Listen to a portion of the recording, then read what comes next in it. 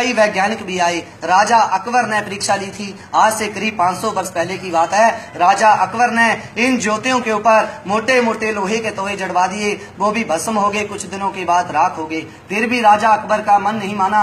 राजा अकबर सोचने लगे, ये अग्नि है। अग्नि लोहे को भस्म कर सकती है। मामूली बात है। मैं इन ज्योतियों को पानी से बुझा सकता हूँ। अग्नि और पानी का कोई संबंध नहीं। राजा अकबर ने इन ज्योतियों को बुझाने के लिए यहाँ से तेड्डा मंदिर पहाड़ी में जाकर के दो किलोमीटर पर वहाँ पर कुदरती पानी निकलता है। उस पानी को एक छोटी सी नहर बनाकर नीचे ज्योति कुंड तक लेके आए थे और ज्योति कुंड को लगातार पानी से भरते गए। जब ज्योति कुंड पानी से भर गया तो ज्वाला माता ने सैकड़ों के बजाय हज़ारों ज्योतियों के रूप में पानी में तैरते हुए राजा अकबर को दर्शन दे दिए। राजा अकबर ने इन ज्योतियों को देवी रूप मान लिया। राजा अकबर का अहंकार चूर हुआ। राजा अकबर ने माता से मन्नत मांगी तो मन्नत पूरा होने पर राजा अकबर नंगे पाँव यहाँ आए और माता के लिए सवा मन सोने का छत्र भेंट लेके आए। लेकिन उस भेंट को चढ़ाते समय राजा अकबर के मन में घमंड आ गया, अभिमान आ गया कि मैं मुसलमान होके हिंदू धर्म में इतनी बड़ी भेंट चढ़ा रहा हूँ, सोया मन सोना चढ़ा रहा हूँ।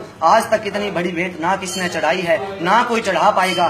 जब राजा अकबर के मन में ऐसा घमंड आ गया तो माता रानी ने उस भेंट को अस्वीकार किया, उस छतर को शक्ति से काले रंग का कर दिया, किसी एक धातु का भी नहीं छोड़ा। आज भी ज्वाला ज्योतियाँ भक्तों दूध पानी लस्सी में दर्शन देती हैं, अपने भक्तों की मनोकामना पूर्ण करने के लिए दर्शन देती है माता। माँ से प्रार्थना करना सभी, माता का ध्यान लगाना, आप सभी दर्शन करेंगे। ये जोत आएगी माता की लोटे के अंदर, जल के अंदर। बोलिए ज्वाला मैया की जय। सच्चे दरबार की जय। हे माई मेरी सचिया जोता वाली माता, तुम्हारी सदा ही जय। सब दे भंडार भरने वाली माता, तुम्हारी सदा ही जय बोलिए ज्वाला मैया की जय सच्चे दरबार की जय सब दी मनोकामना पूरी करने वाली माता तेरी सदा ही जय ये माता का चरणामृत है इस चरणामृत को पीने से रोग दोष कष्ट दूर होते हैं पीछे रखिए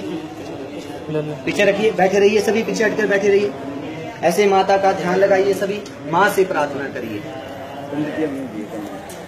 अकाल मृत्युहरणम सर्भे पाक्षोकाद विनाशनम ज्वाला पादोदकम दीतवा पुनर्जन्म ना विद्यते माँ का ध्यान लगा लीजिए, माता से प्रार्थना कर लीजिए, जो कामना करनी से भक्तों, माँ से करिए। शरणागत दीनाथ परित्राण परायणे सर्वस्याद्य हरे देवी नारायणे नमोस्तुते जले ज्वाला स्थले ज्वाला ज्वाला आकाश मंडले सर्व व्यापने भे ज्वाला ज्वाला देव्यै नमो नमः। पाप हम पाप कर्मा हम पापात्मा पाप संभवा त्राहि माँ सर्वदेवी सर्व पापो हरो भव।